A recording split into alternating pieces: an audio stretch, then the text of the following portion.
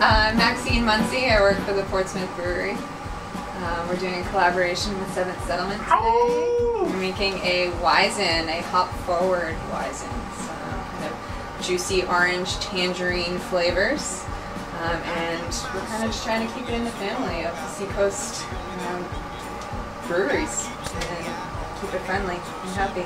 No competition. Matthew Gallagher, Aquarius, River Oak I make beer for a living. Very happy to have our friends here in today. Matt's eating grain.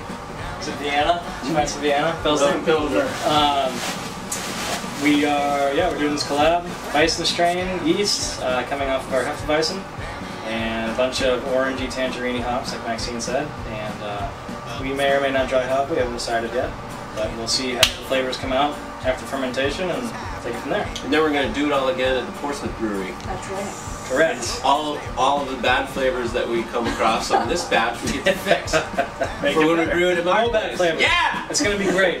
It's gonna be wonderful. And today is a big day because we made it onto the mill.